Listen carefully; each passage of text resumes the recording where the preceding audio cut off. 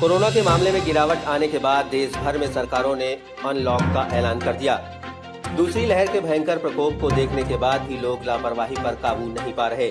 प्रदेश में अनलॉक होते ही चारों तरफ़ लोगों को मास्क के बिना देखा गया और साथ ही साथ सोशल डिस्टेंसिंग के नियमों की जमकर धज्जियाँ उड़ाते हुए भी देखा जा रहा है। सोमवार से यूपी सरकार ने प्रदेश में मॉल खोलने का फैसला लिया है।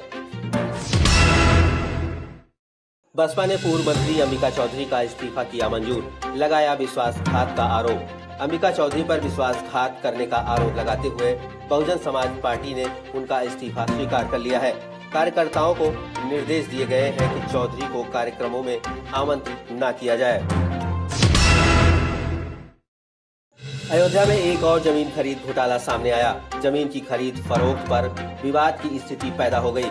करीब 20 लाख की ज़मीन को राम मंदिर ट्रस्ट को करोड़ों में बेचने का आरोप लगाया गया।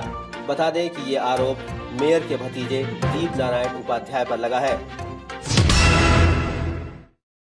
लखनऊ के पंजाब नेशनल बैंक हजरतगंज के एटीएम में भीषण आग लगी। बता दें कि मौके पर दमकल की गाड़ियाँ पहुँची और लगातार आग बुझाने के प्रयासों में जुटी। खबरों के अनुसार आग शॉर्ट सर्किट के कारण लगी। उत्तर प्रदेश के बिजनौर से इस वक्त की बड़ी खबर सामने आ रही है, जहाँ बिजनौर में गंगा में फंसे 10 मजदूरों को निकाला गया। गंगा नदी का जलस्तर बढ़ने के कारण टापू के बीच फंस गए थे मजदूर। खबरों के अनुसार कई घंटों की कड़ी मशक्कत के बाद पीएससी और पुलिस ने करीब 10 मजदूरों को गंगा के टापू के बीच से निकाला।